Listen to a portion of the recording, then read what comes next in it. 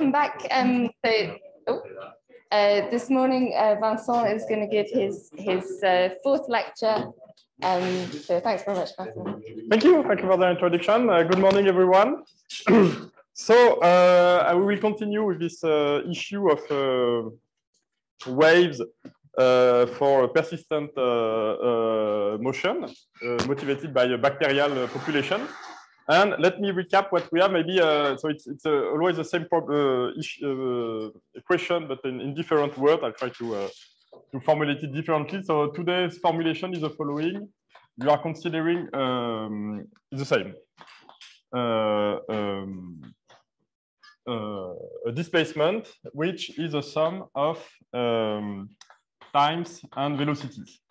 Okay, if you, if you if you are given times and velocities, you can reconstruct, of, to, of course, your curve, uh, your, your, position like, uh, like this, and uh, where Ti uh, is uh, exponentially uh, distributed with rate 1, and Vi is drawn from a normal um, distribution. So it is the same as yesterday and last Friday.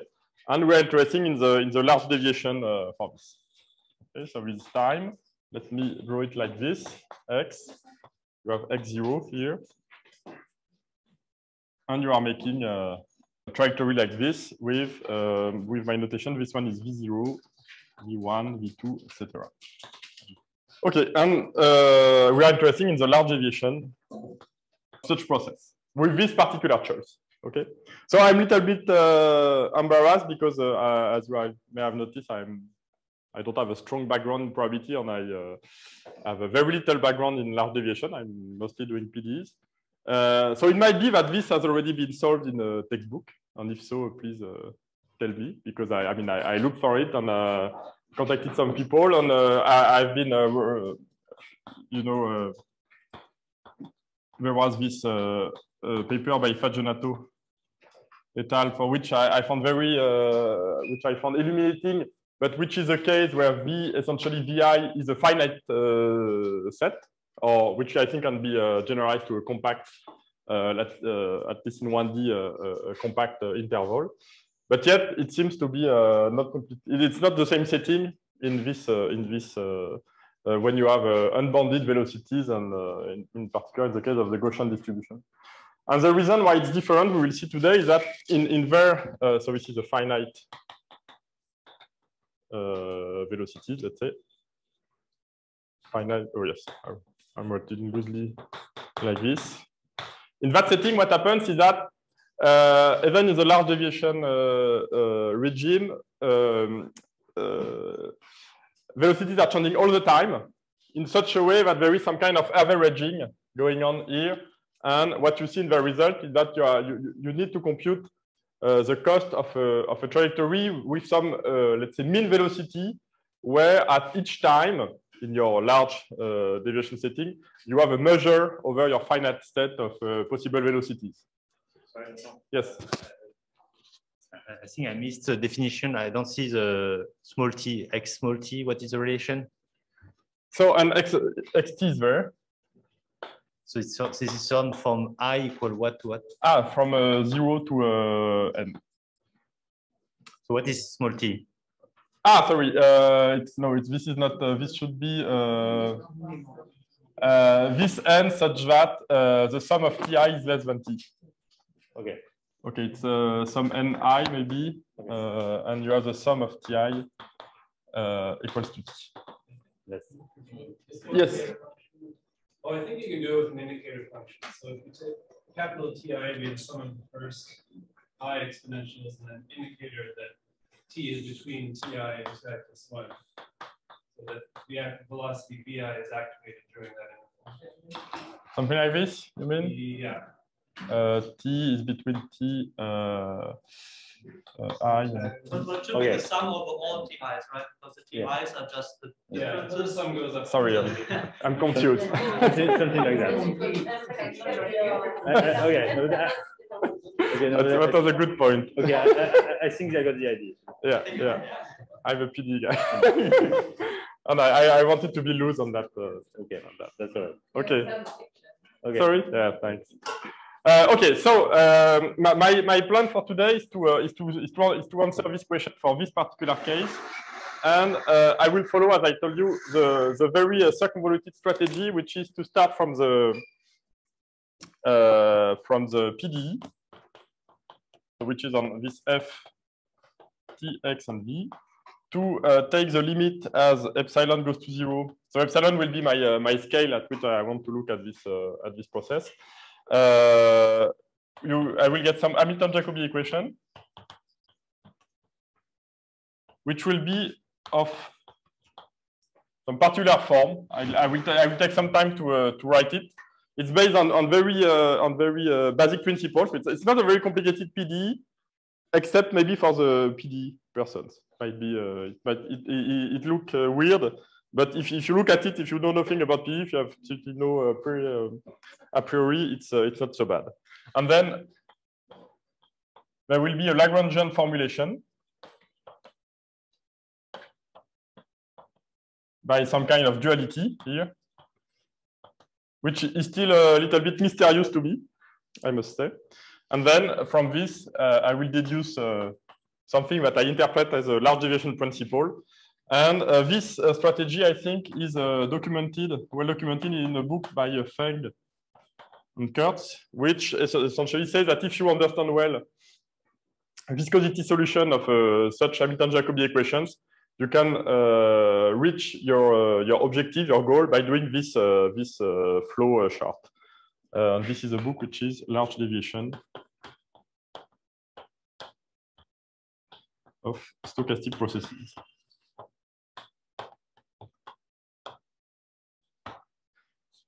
Okay, but if anyone has a direct uh, uh, strategy, I'm uh, very looking forward to it. Because I think the, the, the process is, uh, is uh, reasonably uh, simple. So I, I, I exp exp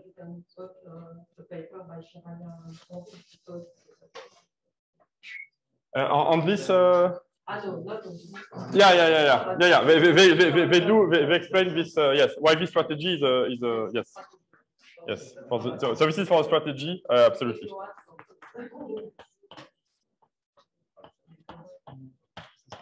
Absolutely. Thank you.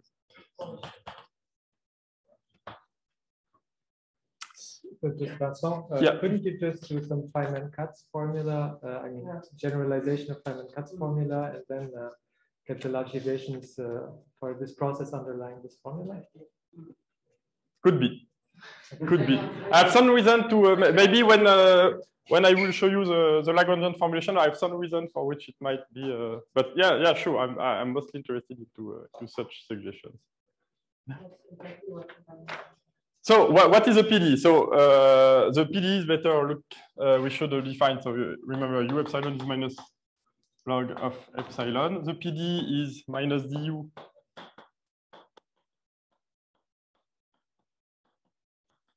uh, one over for the Gaussian. I will put it everything into the integral over. So I'm just looking in 1D. The dimension does not play, play any role here.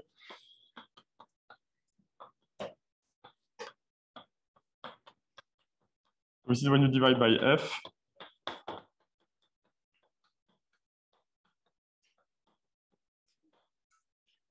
Okay, and the only difference with the case of, bond, of bounded velocity is that you don't have this v square over 2 because this is uh, due to the rescaling of, of velocity. You are looking at very large uh, possible, uh, very large possibility, uh, very, large velocity. Sorry. So as, as, as epsilon goes to zero formally, yes. And minus one. Uh, okay, let me put it there. Thank you. So that I single out the, the, the the, the singular term. So formally, uh, you want this in the limit to be negative, no, non-positive. Otherwise, this might get uh, really big and uh, cannot uh, equilibrate with this part if it makes any sense in the limit. So you expect that uh, as epsilon goes to zero, if you epsilon converge to something, and it does, where this u0 must satisfy u0 of t xv below uh, the, so now I, I, take directly the minimum in v prime plus v square over 2. Okay, uh, as I as we uh, said yesterday, in the case of bounded velocities, uh, you don't get this one, so you get that u0 is a is a function that does not depend on v because it's uh, below its minimum in velocity. But now you have this additional term that uh, completely changes the, the picture. First picture, u0 truly depends on v. Okay. And what does it look like? At least at first glance, you have the velocity zero, of course, which plays a, a crucial role here. Here, uh, I will. So this is, let's say, the minimum of u in velocity. It's a, it's a, it's a, it's a given. Uh, suppose it is given to you. So you have this minimum value, and you have this. You have the parabola v square over two, and your function set uh, below the, the parabola okay, and your uh, u, your uh, u is somewhere below. Okay, this is a u. Okay, and it's, uh, I mean, it's, uh, you can see by eyes that it uh, must satisfies, uh, reaches its minimum value at zero, which is when you put b equals to zero in this inequality. Okay, so in particular, you have, yes. Sorry? uh, is always finite. Uh, no, no, it can be plus infinity. Uh, yeah. yeah. I mean, at, at, least at initial time, you can allow for infinite uh, solutions, infinite uh, the solutions taking infinite values, uh, but then it will soon become finite uh, at any time. Okay, and so the second thing you can get, so this is one constraint, and uh, so this is first observation. And my second observation is if you have a strict inequality formally,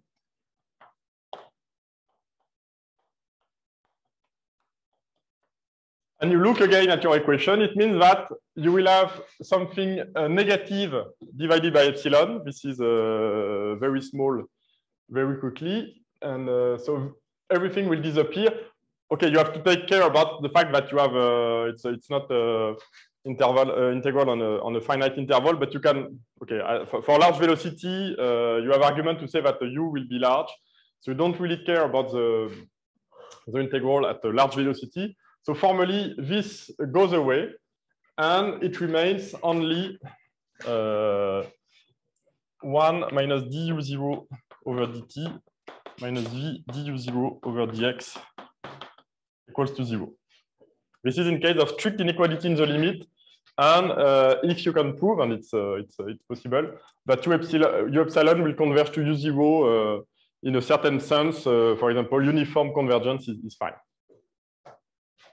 Okay, if u epsilon converges uniformly to, to u zero, and so it means that you have a negative, uh, if you have strict inequality here, you have a negative value in the limit. You divide by epsilon, it is very small. This, the exponential uh, becomes very small and it, it remains only a free transport. Okay, so this is uh, at this point you are in a very good shape. Okay, because what can U0 uh, does either it will be exactly on the parabola, and you know what it is, or it will be uh, strictly below, and you have an equation for it. Okay, so it's uh, you are in a in a good shape. Either you have a, you have a value for u0, or you have an equation for u0, which is uh, which is fine. Okay. So uh, from one, let's say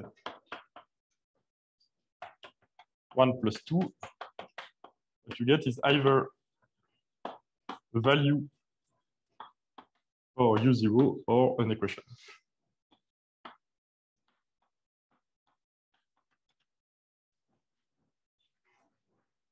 Okay.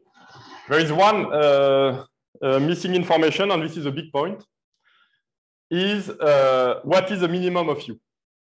Okay, if, uh, again, if you know what is the minimum of u, u will be either the parabola or it will either coincide with the parabola on some uh, for some velocities, or you will get an equation for it. And the, the equation is very easy, it's just free transport. Okay. Uh, but for that, you need to know what is minimum of u. And uh, of course, you need to prescribe it because otherwise, uh, if you don't prescribe the minimum of u, this is just invariant by uh, adding a constant. If you have a, if you add a constant to u0, you have the same uh, inequality there, and you have the same equality there, the same equation there. So you, you, you are missing a constant, and this constant is essentially what is minimum of u. Okay, and this is where uh, it becomes a little bit uh, how to say uh, not completely uh, uh, straightforward. I will write what it is, the equation for the minimum of u, and then I'll try to motivate it, and then I will give more more details about because this is very loose argument as you as you noticed. Okay, so uh, the dynamics of the minimum of u in velocity. It's uh, it's uh, of course it's, it's not completely. Uh, it's quite natural that such uh, quantity appear because uh, it corresponds to the integral in velocity. It's uh, of course it is.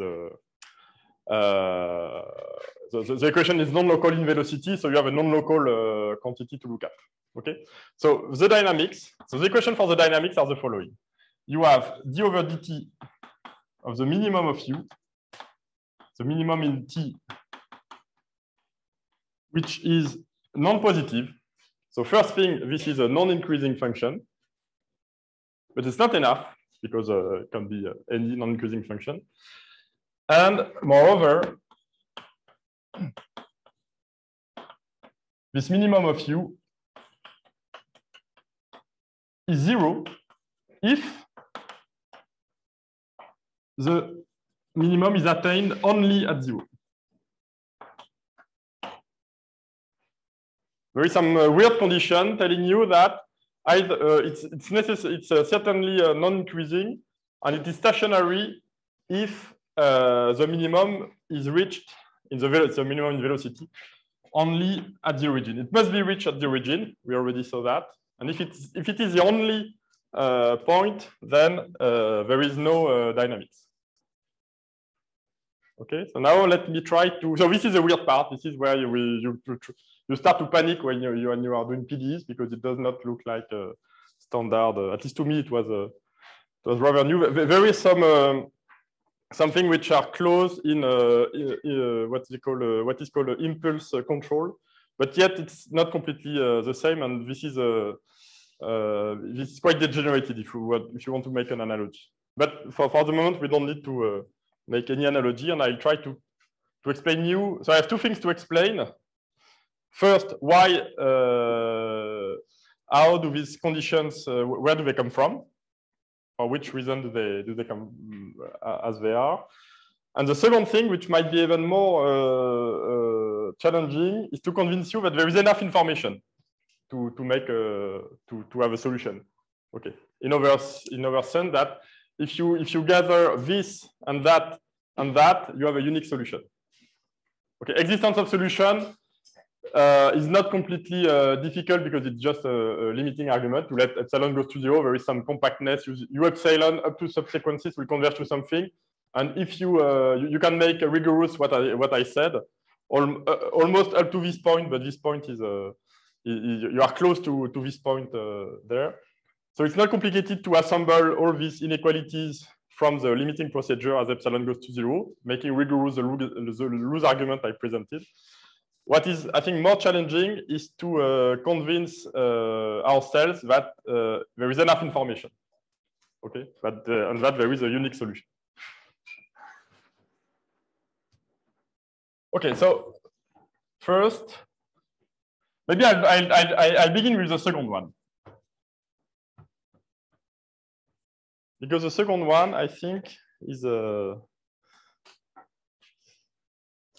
Excuse me, Vincent. Yes. Uh, I'm confused. So the dynamics of menu, this does not fully describe the dynamics, right? I mean, Sorry? So so so uh, so the dynamics that you write there, it yeah. does not fully describe the It does. It does. It does. Okay. So let me explain why it does. Sorry? It's a U0, sorry, yes, it's, it's a limit, my limiting function. Now I will work only with, uh, with U0. Ah. Yes. So let me write in a more concise way my PDE for U0. Let's say it's a Hamilton-Jacobi PDE, which is the following. I have, so it's my first two things is either uh,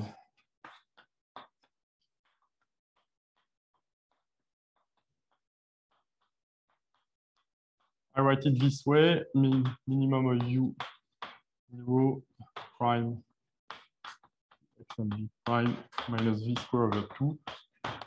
The first thing is this maximum of these two things is zero. Either this one is negative and I have this uh, transport equation there, or uh, or this one is a zero and uh, that's it. And this one, I know that it's non uh, non uh, positive just because it's equal to uh, to something positive there okay, uh, which can be zero in the limit, so it's something non-negative. This is my uh, very first equation here. Okay, so the max of these two things is zero, and the second one is the dynamics of the minimum of u, d over dt.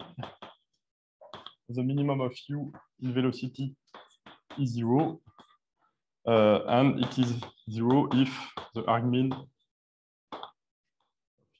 is the minimum is reached only at the origin.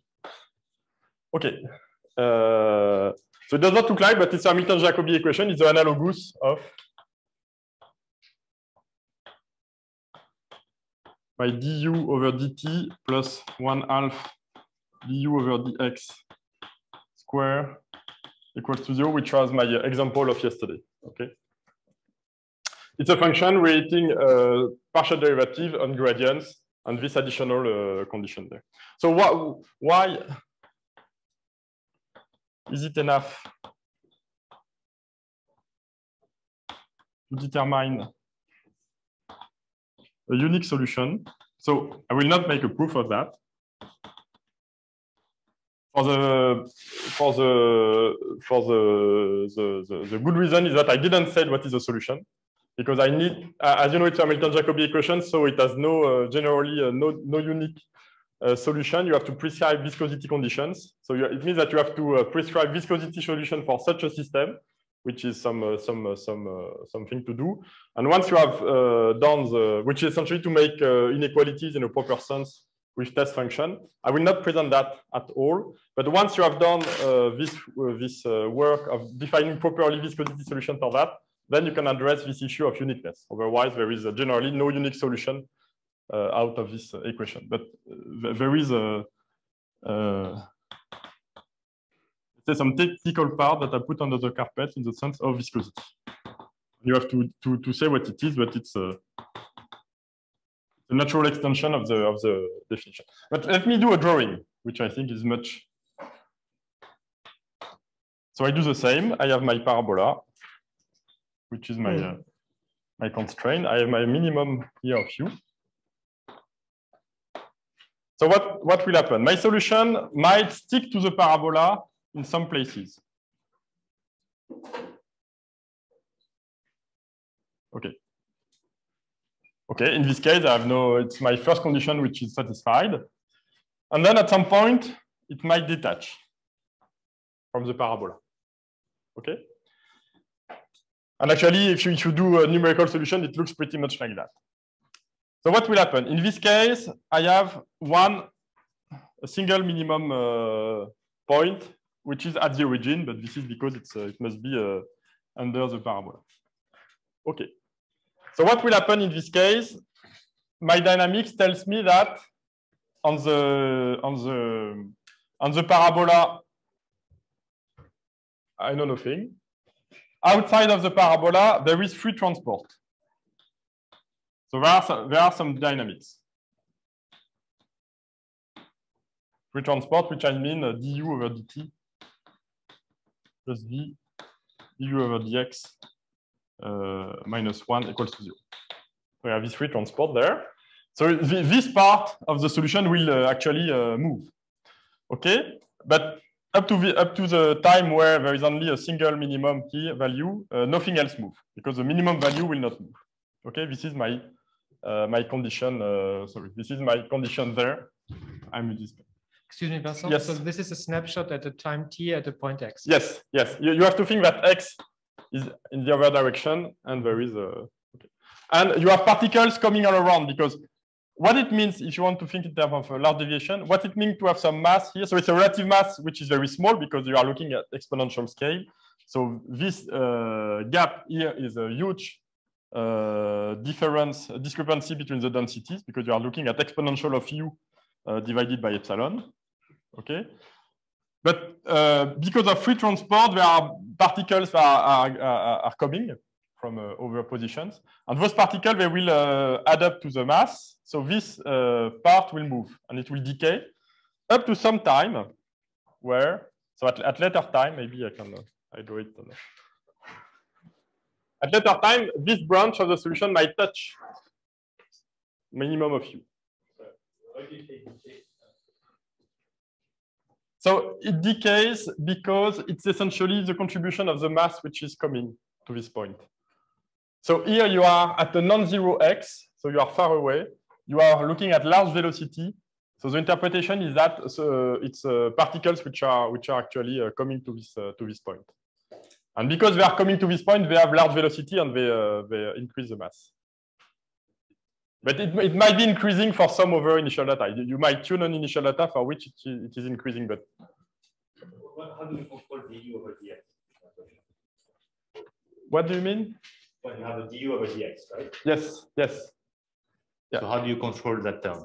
You mean by to, to know which sign is, yeah. is that? Uh, I have no. Um, here it's a, it's it's it's it's an example. I don't claim that it's necessarily decreasing. Okay, but if you start from the from all the mass centered at x equals to zero, this is how it looks like. It looks like at any uh, position at any time. This is kind of a, this is a drawing of the of the fundamental solution of the of the process. But if you tune some uh, some initial condition and you let the flow evolve, it might increase at some point. Sorry for the confusion. For the confusion. Sorry, can I ask one more yeah. silly question? So, um, are you saying that the bit that's on the parabola isn't moving? And Sorry? if so, why? So that section that is on your yellow parabola, where the purple and the yellow lines are the same. Yes. You're saying no, no, where they're the same. Yeah. yeah. You're saying that it the purple line is not moving there. The solution is not moving, or are you not saying that? Uh, I'm not saying that. Okay. I'm saying I have But no then- equation for it, but, But then, how do you know? Then, how is it determining?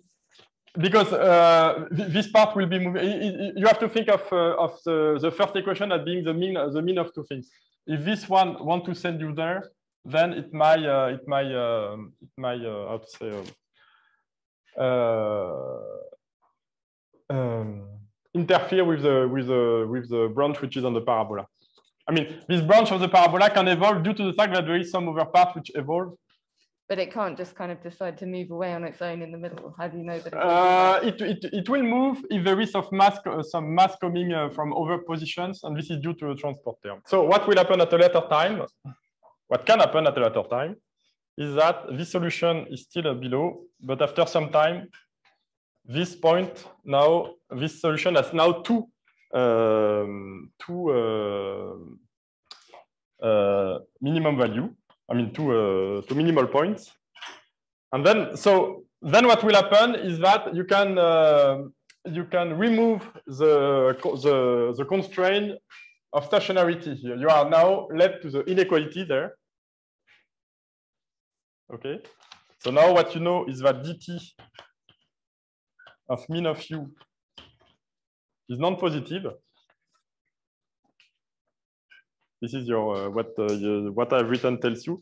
And here comes the point is that now this will keep moving because it has no constraint uh, due to free transport is still acting there.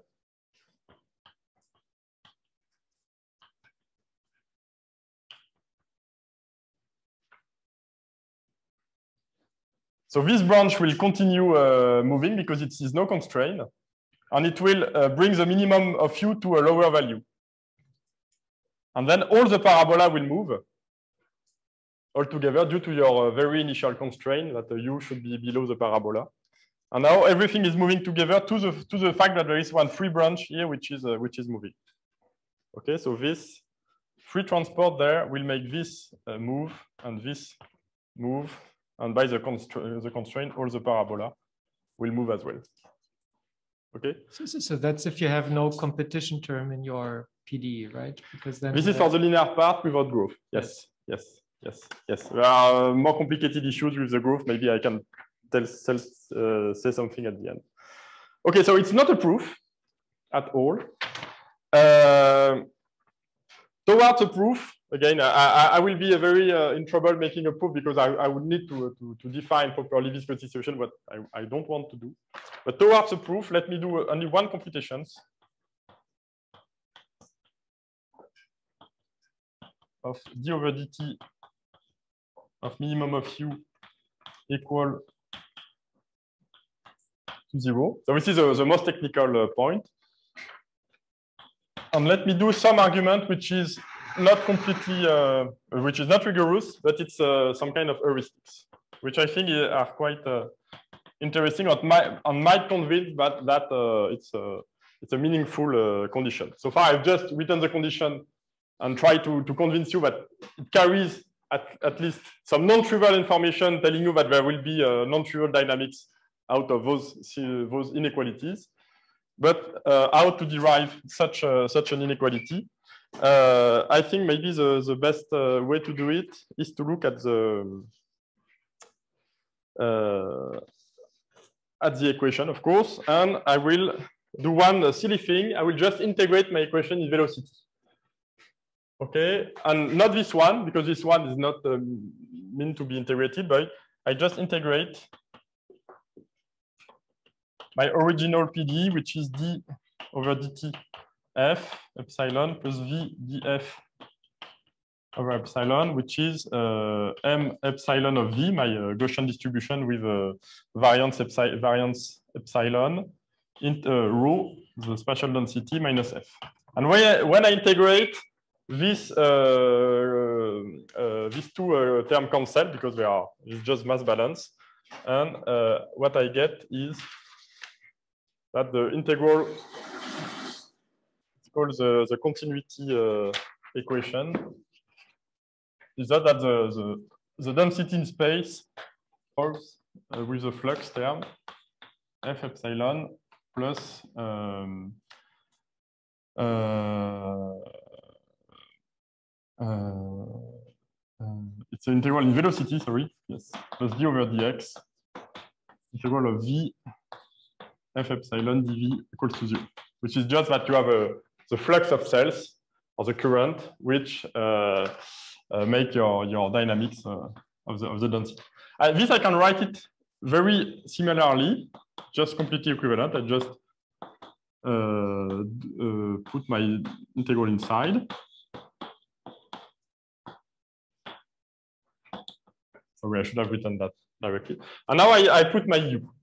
Okay my, uh, my definition of u is that du over epsilon over dt plus v du over epsilon over dx.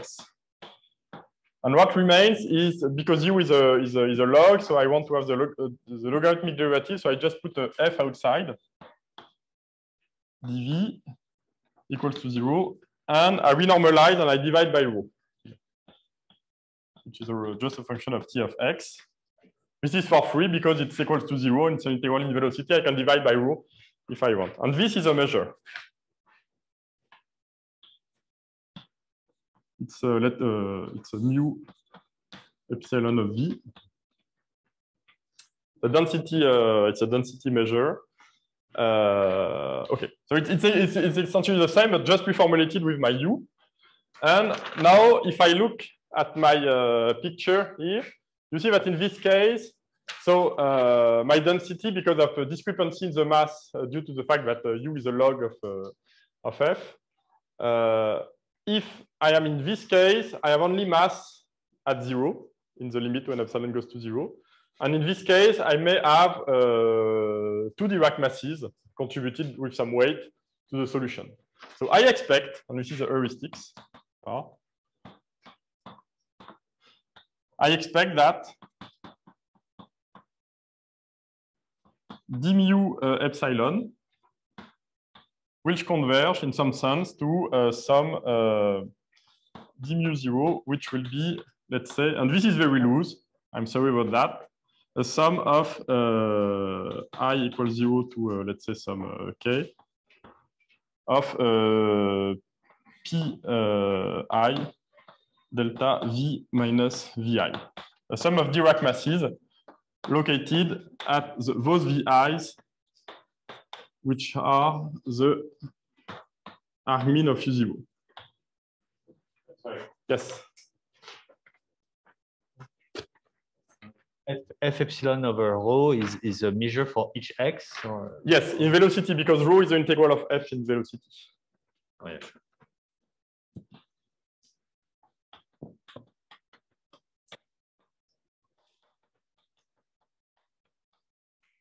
You just integrate in velocity. So by definition, it's a it's a it's a measure.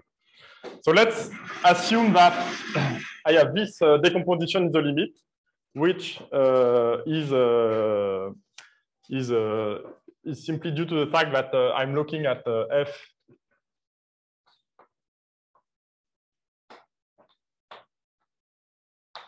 which is exponential of minus u epsilon over epsilon. So because epsilon is going to zero, f is going to concentrate in velocity where u epsilon reaches its maximum. We know, we all know it's much more complicated than that in real life. You want to, if you want to have this, we need to have a good control of uh, what uh, is the shape of u around v, and you cannot directly apply uh, Laplace transformation because u depends itself at epsilon. We know it's, it's, it's much more complicated than that. And this is one of the magic of the viscosity solution is that you can um, rigorously, uh, uh, how to say, uh, justify everything by using test functions. The viscosity solution is essentially you replace a u epsilon by a phi, a test function with no epsilon anymore, and then you can do whatever you like. Okay, but at the moment, let me uh, be very uh, uh, non-rigorous there, and then you have to use viscosity solution to make it rigorous. But this is technically a little bit more involved, but it's essentially the same ideas. So this is why I, I take this. Okay, and it comes the, the, the, the, the argument. What now if I plug this into my, uh, let's say, uh, average PDE? So it's an average PDE. So we get what? The integral of uh, du epsilon uh, du0 over dt plus v. So again, I'm, I'm doing crazy things. I'm, I'm, I'm, I'm passing into a, a limit which is not well defined into a PDE which, uh, for which I have no control at the moment. It's, it's very weird. But again, with viscosity solution, you can do everything uh, correct there. Then uh, it will be the sum of the Dirac masses, v minus vi. So what does it look like? It looks like I, I, have to single out the velocity zero because the velocity zero is easy because v zero here, there is no gradient there. So it's just du over dt of dx and v of zero. And for, uh, sorry, I have to forget that this, for example, from uh, zero, let's say that assume that uh, v zero is zero. Because I know that the, the minimum is reached at zero, so I can always choose the first velocity to be the origin.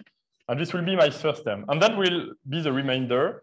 The remainder will be the sum of y from 1 to n. I've singled out the velocity 0 of du over dt plus v du over dx at some vi, uh, tx vi, sorry. And I have some weight. I, uh, I, I forgot to put the weight. I have p0 here and these are my weight pi. Okay, and now I have to remember what is my PDE. So this is what I this is what I want. I want the dynamic. I want the value of this du zero over dt. This is what I'm looking for because this is the value of the minimum because I'm at the origin. Now what it is certainly vi is non-zero for i uh, bigger than one. So certainly, because I am at the minimum value, I am below the parabola. So I have free transport here. So this is equals to minus one. Because it cannot be on the parabola because it's not at zero. So I am below the parabola and I have the dynamic. So this is my second case here.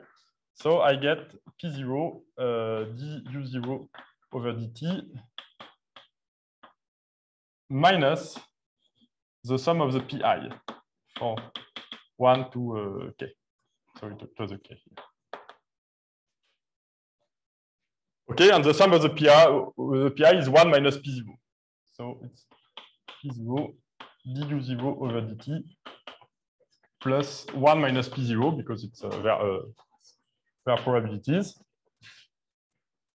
But this was zero from the beginning up. This is equal to zero because it's my uh, the conservation of my equation with respect to velocity. Okay, and now I have took, uh, so it gives me uh, what I wanted, which is du over dt at zero, at the origin, tx and zero. Very formally, very, uh, it is equals to p0 minus one over p0, which is uh, non-positive and uh, which is zero if p0 equals to one, which means that I have only one uh, Dirac mass at the origin and nothing else.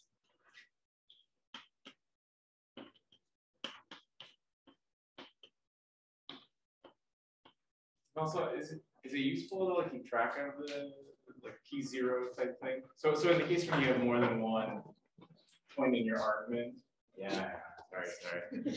Uh, if you have more than one point in your argmin, uh, is it useful to keep track of the p naught? Like, so, so well, the thing that I'm most confused about, which I think uh, you've tried addressing a few times, but I'm still confused, is the the derivative of the minimum being less than or equal to zero is not the same as being able to say exactly how fast the minimum decays, right? Yes, yes. So we have no control. We don't know what is P0 in general, except if we know that it's one.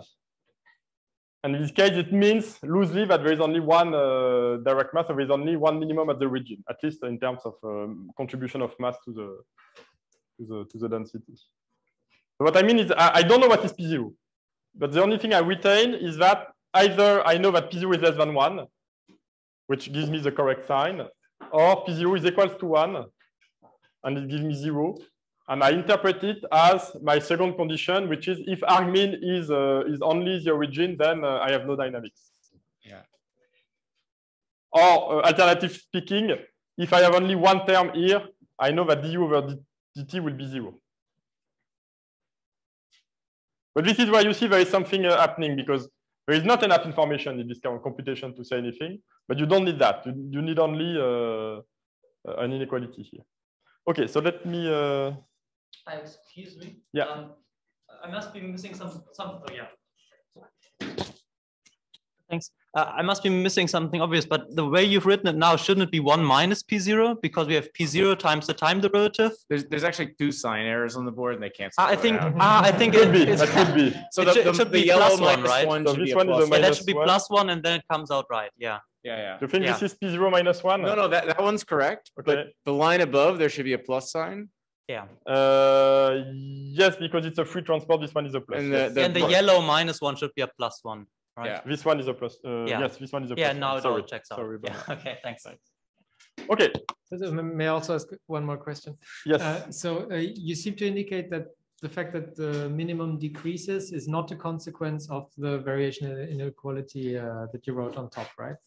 It So you, you need it as an extra information. right? Yes. So you have Yes. the, the, the two uh, Yes. inequalities. Yes, the main information is this one. You have to you have to ensure that there is no dynamics where there is only one uh, minimum at the origin. All right. This must be, Because uh, I had the impression that the weak inequality is actually implied by the equation No. written above. No, no, no, no, no, no, because you see that the- on this equation above, you can always add a constant in v to your uh, to your u zero. No, a, con a constant in t on x.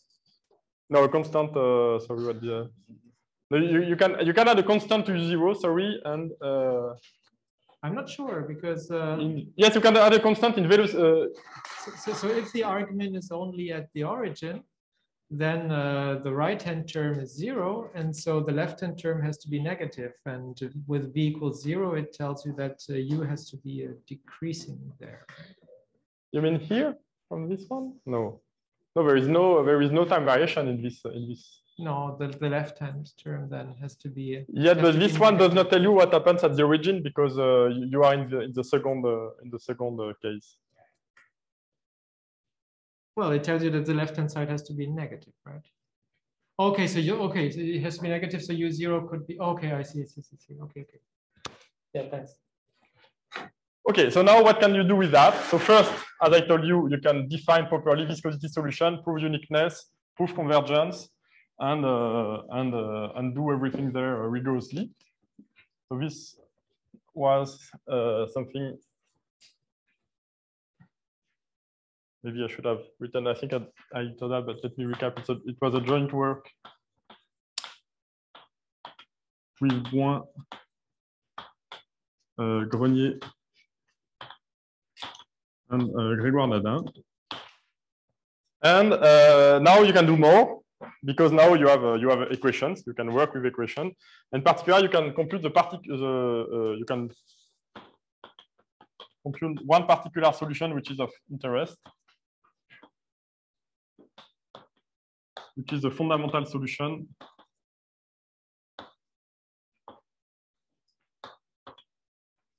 which is the one um, uh, such that u of zero of x and v is what it's. Uh, so it means that it, it's either zero or plus infinity or zero or plus infinity, where zero x equals to uh, means uh, either zero if x zero or plus infinity elsewhere. The equivalent, let's say, of the of the Dirac mass in log scale is a convex uh, characteristic function. So for this one, I claim that uh, so the complete the, the, full formula of uh, you can compute u at t, x, and v. It's complicated to, to have the full velocity profile because the velocity profile has this sort of shape. Okay, so you have to uh, you have to uh, you have to. Uh, so this is, I'm confused about your initial condition here. Yeah. The this is zero only at x equals zero and v equals zero and infinity everywhere. Yes, yes. Okay. So you will see that you see immediately that it does not satisfy uh, the first constraint to be below the parabola because it's plus infinity. Uh, but uh, in the sense of a semi-continuous uh, function, it will be uh, the case that t equals to zero plus. So you, you can define that, and immediately the, the constraint will be uh, will be satisfied. But yes. Yes, it's a very the indicator function of uh, zero zero. You start with one particle with no with velocity zero, and you see what uh, what's going on. So, also, do you want yes. the, the, product of those, not the sum? No, it's a sum because it's uh, it's a log of. Uh, so for any v, but as long as x is zero, you always get infinity. Except zero. Uh, you, you you must have both v equals to zero and x equals to zero. Sorry, yeah. yeah. Okay, I should have written, uh, okay, there is a couple of the two is, is, zero. So in this case, what you can compute is, what can you can, you can uh, I can easily express is not u itself, but the minimum, which of course is, a, is an important quantity, which tells you how much, how much mass you have at t and x without the details of the, of the velocity profile. And this is uh, either two-third, uh, three half, sorry x to the 3 half. Uh, uh, no, sorry, x of the 2 third. I'm confused with the exponent. Like this. Or uh, x square over 2t square plus t. I will explain uh, later where it comes from. And uh, but just have a look at that. What does it look like in x now? As t goes to infinity, and I, I forgot to say when do you have those conditions. This is for x above, uh, larger than t to the 3 half and x, uh, no, the opposite, smaller and x larger than t to the 3 half. So the, uh, t to the 3 half is a scaling. We saw in the epsilon uh, that it's the correct scaling. And you have this, uh, these uh, conditions. So what does it look like? You see that when t goes to infinity, uh, this uh, region will uh, expand, will increase. So you will see only that a guy. So that guy is something which is like this. So this is x uh, 3 half x to the 2 third. Okay. And then on top of that, uh, be, beyond some uh, range, which is t to the 3 half, you have a parabola in x. Okay. So your solution, there is this envelope and then there is this parabola. And it's symmetrical, of course. And uh, you have a change at this, at this point. Okay. And what is interesting to me, at least, is that it's very different from the standard uh, diffusion problem, because in standard diffusion problem, the equivalent would be x squared over 2t, which is a fundamental solution uh,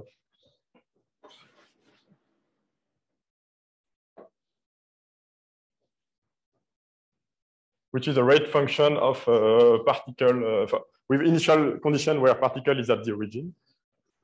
So it's uh, different from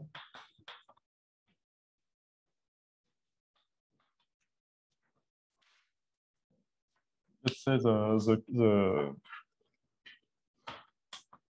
the Brownian case,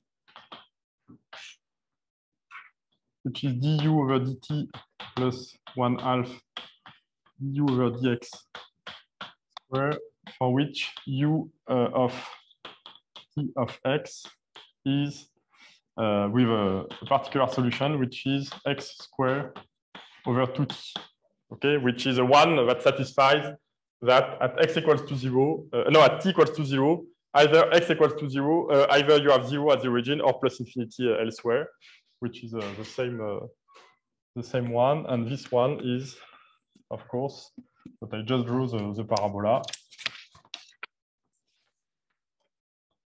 Uh, those parabola are going to uh, to, uh, to zero. Okay, what does it tell you to me? At least, what does it tell me? Is that in this regime, even in very large time, in this scaling, so here in very large time, you will have uh, uh, still a positive but small probability to find a particle. Okay. In this case, even in very large time, at any position, there will be a, a order one uh, uh, exponentially a small probability of finding a particle. My point is that this envelope is, a, is an obstacle. The solution cannot go to zero. So it means that it's very, very rare to find a particle far away out of this process uh, compared to this one because of this. Uh, I mean, the shape are, are very, uh, very different. Here, the, the limit is just is just zero. Okay. I don't know how much time do I I have. Ah, it's close to the end. So uh, two things. I have two things to uh, to say is uh, where does this come from? So this comes from the fundamental solution of the full uh, process. So this comes from the duality. To compute that, you have to uh, you have to essentially to resolve the problem. And to resolve the problem, we have seen yesterday that there is one uh, good formula, which is a representation formula with the Lagrangian. So my next point is to show you what is a Lagrangian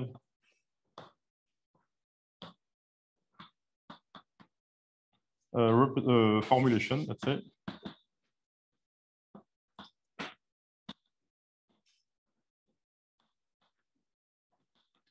solution. And this is, so there is a, a theorem telling you that u of t which is infimum over curves of uh, the, the action of the curve plus u of zero uh, plus u zero of uh,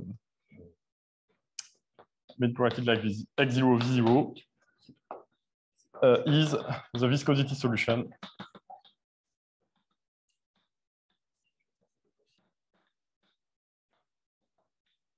of the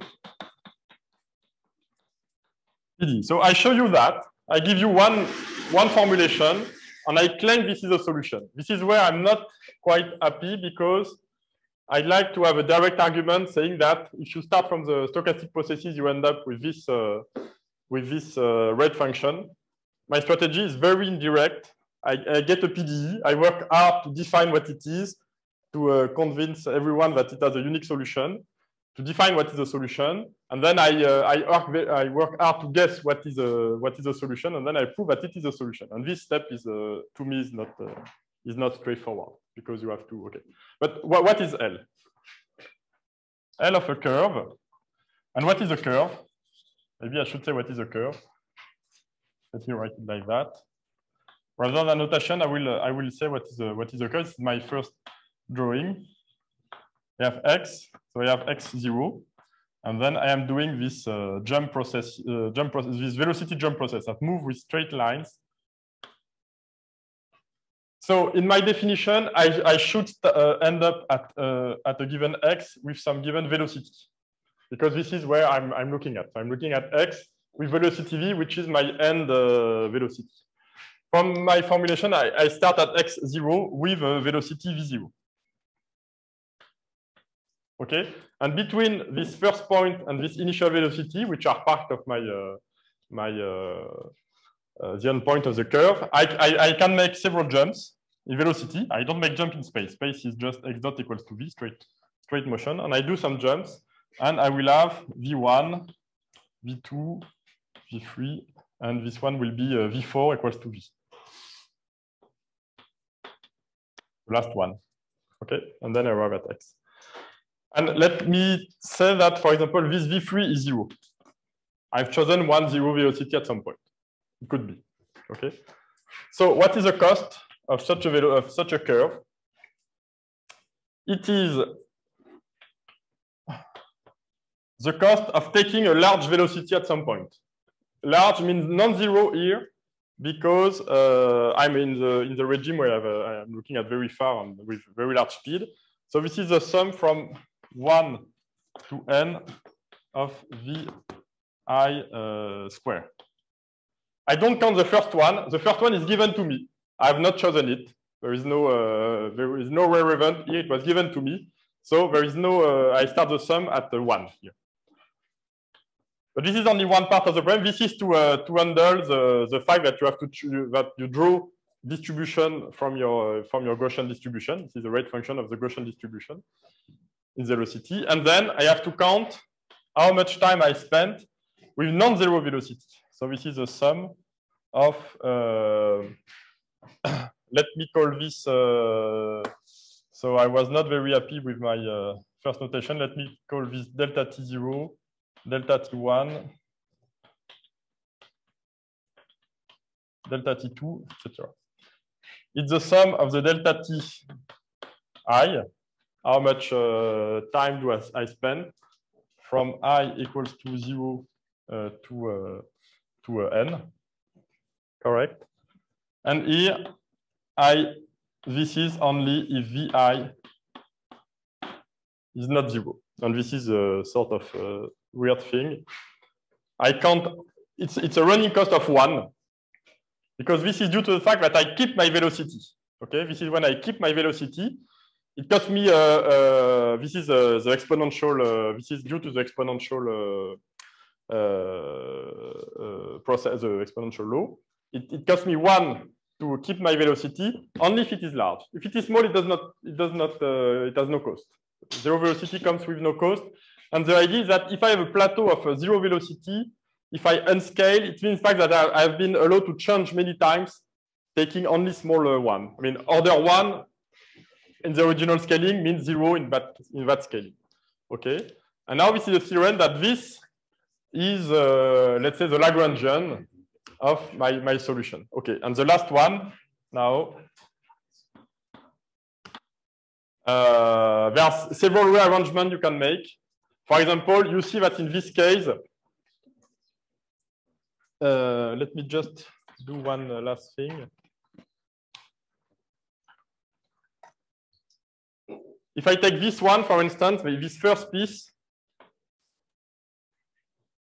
okay, I just look at that.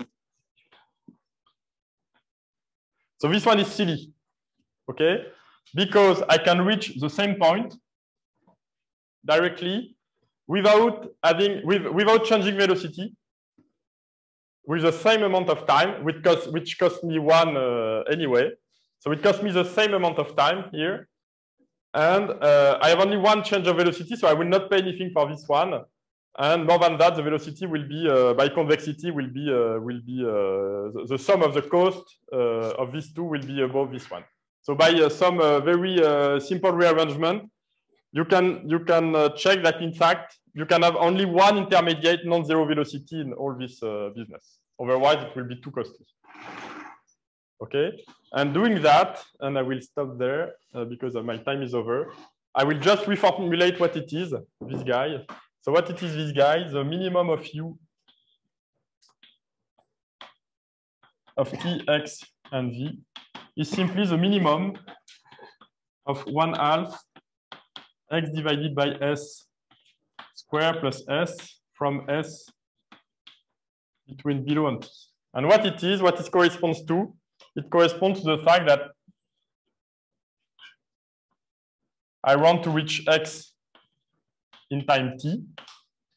And the best way to do is to do a, a single shot and then a plateau, because the plateau costs me nothing. It has velocity zero, I pay nothing. It has velocity zero, I pay nothing. So plateau are for free. The only point is I have to get there. And I have to get there in time s, intermediate time s, with velocity v. And velocity v is, of course, x divided by s by definition, starting from the origin here. Uh, sorry, this is for my uh, this is my special solution uh, starting from uh, from zero of uh, x and v. So this one is one big jump and then uh, nothing. So either I have to, to saturate and to do it in time t, but it might be in particular in this area, it's more interesting to do it in, a, in a short time because it's not so far away uh, anyway. Do it in short time. So I have this, uh, this formula here, and I have to minimize over uh, in intermediate time. And if you minimize this, you get this, this thing because it depends whether S is below or above T.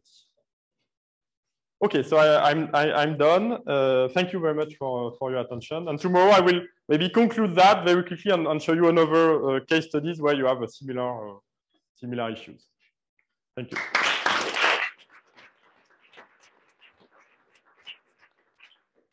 So any questions for Vincent, oh, uh, Marcel? Uh, so, you, yeah. so how much do you use that you're using a Gaussian distribution here? I mean, how much do you use the fact that you've got parabola? Can you take some yeah. nice shape? maybe that's what you can say tomorrow. No, no, yeah, uh, it's a very good question. To be honest, I, I, I, believe that you can replace this by any sort of uh, convex function. So you get the exponential of this uh, potential as a, as a distribution generalized Gaussian. I'm not completely sure that there might not be technical issues, but uh, in spirit, it should be uh, similar. You just have to replace uh, what is inside the exponential. For more complicated uh, shape, like let's say algebraic decay, I have no idea. And it might be that you have to, to change the scale differently. Okay, but so yeah, I think it's quite flexible at this at this point. Thanks. So in your your minimum for you uh, grows like t, right? Which means that your original function f is sort of exponentially decaying like e to the minus t. For large, uh, this is for small t. For large t, it's, it is stuck to, uh, to that. All right. I read it wrong. I have no question. Thanks.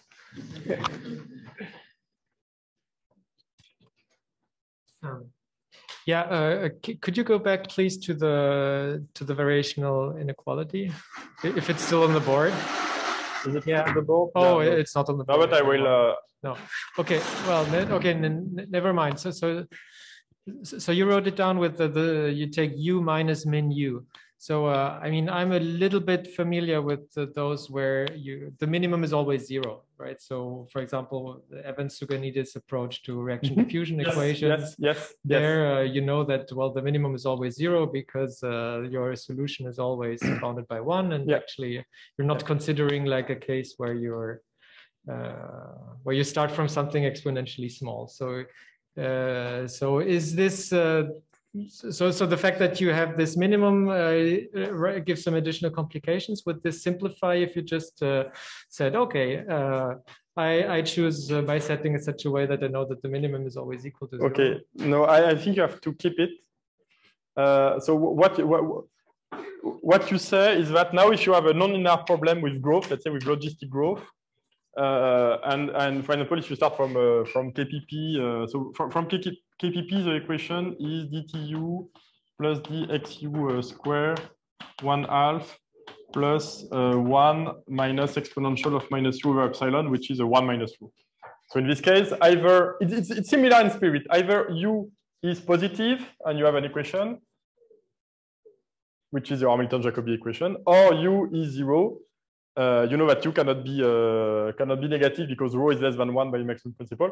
Either u is uh, zero and u is zero, and you don't need to have an equation. So it's so, so in this case, the equation is a minimum of dtu plus dxu square plus one u uh, equals to uh, zero. If I'm, or is it a maximum? I'm always confused. uh, u must be a non-negative. Yes, uh, like this. so it's, it's similar in spirit. And there is one thing, technical thing called the Freidlin condition. And I think it's even called Freidlin N condition or something like this. In uh, if you look in uh, in those papers. Yeah, but that's that's not Which- necessary. Sorry. That condition is is is not necessary. It just tells you that that condition allows you to solve this equation separately and then to truncate. And is what is wa- was it your question? Well, you don't need it in order to. Uh, I mean, the, This the is always, direction of the uh, well like that is, Yeah. still uh, sufficient to describe the, Yes, the yes. viscosity solution of that. Yes, yes. It's- This one is only to to to simplify uh, this into uh, Right, right, right. to, to to compute it. Okay. Right. Uh, in our case, uh, I, I I I don't think you have you you can separate uh, the two things in in what I have written. You, you- you have to uh, to combine. You, you, you cannot solve uh, without the condition at the minimum and then uh, restore it uh, at the end. I think it's not it's not possible. Okay. And there is one tricky thing is that because just to answer because uh, I do not have time. If you add logistic growth into the my my problem with velocity here, you can do all the same. You can have something like this, where you have replaced that, but uh, by my variational inequality uh, above, and we replace this by the fact that the stationary state is u equals to the parabola, with minimum of u is zero. Right. So you can, you can write this, which is a big system with many inequalities. You can solve it, and you can you can get you can you can combine it with that, and you can prove that uh, the then you have a rate of acceleration which is uh, two third uh, one plus r t to the three half over one plus r, and then maybe a three half something. You, you, you have a complicated uh, you- you have but you get exactly the rate of acceleration because you are able to compute essentially the minimal. Uh, uh, thing. You have to put some R in, in there and you have to, to subtract minus T because you are growth in the population, but you're able to do that. And there was one tricky observation is that this Freidlin condition is not satisfied. Mhm. So you should not be able to do that, but you are able to do that because it's not satisfied only for large velocities. And to understand the propagation, only the velocity zero is, is enough because this is what uh, carries mass. So there is some subtlety in this side, but at the end, you, you, can do essentially the same as in Evans Souganidis, uh, using their, uh, you, you, you have a representation formula with stopping times, uh, and, uh, and it it works the same up to uh, some complication that, but this, which is not, which does not appear uh, in the in the result. Okay. Uh, well, if there are no further questions, let's thank Vincent again. and- Thank you.